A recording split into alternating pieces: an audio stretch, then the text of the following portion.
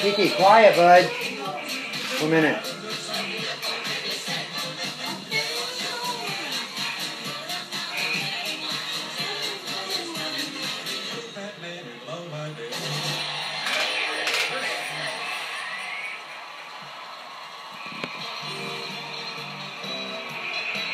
Decked out in the primary colors are Macy's first family of elves, Charlie, and CJ. These Santa's helpers made their parade debut in 1947, the same year that the holiday movie classic Miracle on 34th Street premiered, and the first year that Matt hosted the parade. Thank you very much. That famous Christmas movie starring Maureen O'Hara literally put Macy's and the Thanksgiving parade on the map. The character that Miss O'Hara portrayed taught us all to believe.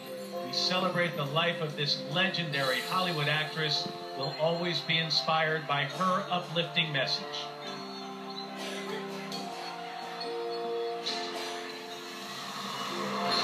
Well, the big moment has arrived. Santa Claus has come to town, having traveled all the way from the North Pole to 34th Street.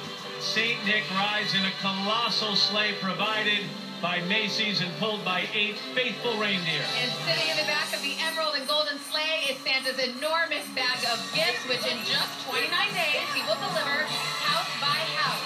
As Mrs. Claus waves to families in the grandstands, this heartwarming scene the official beginning of the holiday season and the official end of Macy's 89th Miracle on 34th Street.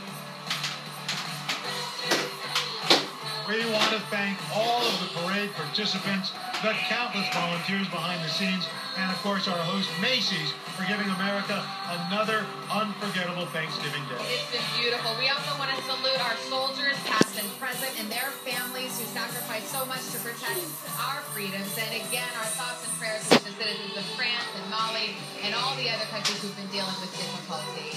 Let us say right now that on behalf of Macy's and all of us at NBC, we look forward to seeing you next year for the momentous 90th parade. Until then, we wish you a very happy and peaceful Thanksgiving and holiday season. Have a great day, everyone. Thank you so much for watching. Happy Thanksgiving.